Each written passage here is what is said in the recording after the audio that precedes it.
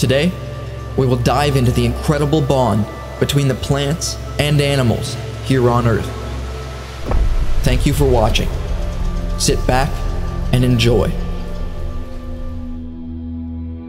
One of the most fascinating things about our home planet is the incredible diversity of life that thrives on its surface. So far, the Earth is the only known planet to harbor life. It is home to an estimated 8.7 million different species of plants and animals, and they have coexisted for millions of years. Together, they have formed a delicate balance that sustains this huge variety of life we see on Earth. The life here is bonded and relies on each other in many ways that are more complex than it may appear. Sure, plants and animals are different in many ways.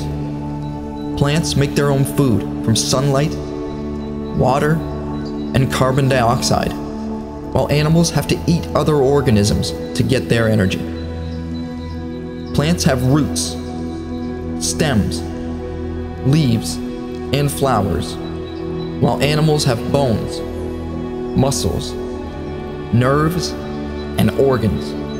But despite these differences, plants and animals share a common origin and a common language DNA. DNA, or deoxyribonucleic acid, is the molecule that carries the genetic information of all living things on Earth. It's like a blueprint that tells each cell how to grow and function. DNA is found in the nucleus of every cell of every living organism on Earth. It's the same DNA that you inherited from your parents, and they inherited from their parents, and so on. It's also the same DNA that connects you and me to every other living thing on this planet. How do we know this? Well, scientists can compare the DNA sequences of different organisms and measure how similar or different they are. This can tell us how closely related they are and when they diverged from a common ancestor. For example, science has revealed that humans share about 98.7% of their DNA sequence with chimpanzees and bonobos, which are the animals most closely related to us. We share a common ancestor with them that lived about 6 to 8 million years ago. We also share about 90% of our DNA with cats and mice, 80% with cows, 61% with fruit flies, and even 50% with bananas. That's right, bananas. But what does this mean? Does this mean that we are half bananas? Of course not. It means that we share some of the basic building blocks of life with bananas, such as amino acids, which are the components of proteins. It also means that we share some of the genes that code for these proteins, such as those involved in cell division or metabolism. But it doesn't mean that we have the same traits or functions as bananas. We have many genes that bananas don't have, and vice versa. And even when we have the same genes, they may be expressed differently or regulate differently by other factors. DNA is influenced by the environment, by mutations, by interactions with other organisms, and by natural selection.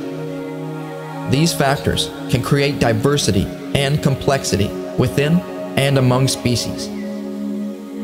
We are part of a cosmic family tree that spans billions of years and millions of species. We are the products of evolution and agents of evolution that brought us here today. But DNA is not the only thing that bonds plants and animals together. There is another process that is essential for life on Earth photosynthesis. Plants and some other organisms on Earth absorb light energy and carbon dioxide to make their own food in a process called photosynthesis. And during this process, something amazing happens. As light and toxic carbon dioxide are absorbed from the air, something precious is produced oxygen. Animals rely on this precious oxygen to breathe. But as we inhale oxygen, we exhale carbon dioxide, the very thing plants require and absorb during photosynthesis. This synchronicity between plants and animals has always fascinated me. But that is still not all. There are many other ways plants and animals depend on each other. One of the most well-known relationships between plants and animals is pollination. Bees, butterflies, and other insects help to spread pollen from one flower to another, allowing plants to reproduce. Many animals also help to spread seeds, allowing plants to colonize new areas. Birds, for example, eat berries and other fruits, then deposit the seeds in their droppings. This helps to ensure that plant populations remain healthy and diverse. Herbivores, like deer and rabbits, eat plants, but they also play an important role in maintaining the health of their ecosystem. By grazing on grasses and other vegetation, they help to control the plant growth and prevent overgrowth. This allows other species to thrive and helps to keep their ecosystems in balance. Trees provide shelter for many animals, from birds that nest in their branches to mammals that make their homes in hollow trunks. In return, these animals help to protect the trees from pests and diseases. They also play a role in maintaining the forest floor by breaking down fallen leaves and branches. But trees are not the only plants that provide food and shelter.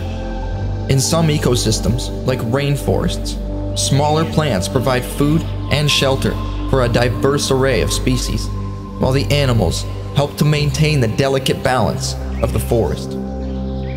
They do this by dispersing seeds, pollinating flowers, and controlling populations of other species.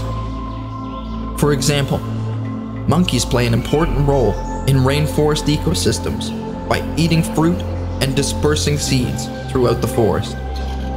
This helps to ensure that plant populations remain healthy and diverse. Monkeys also help to control insect populations by eating them as part of their diet. Anteaters, of course, eat ants, as well as termites, which helps to control their populations. This is important because ants and termites can cause damage to trees if their populations grow too large. Every ecosystem is a delicate balance and an intricate dance between plants and animals. The bond between plants and animals is truly remarkable, and these are just some of the many examples of how they work together and rely on each other. In nature, there is much competition but there is also some amazing cooperation.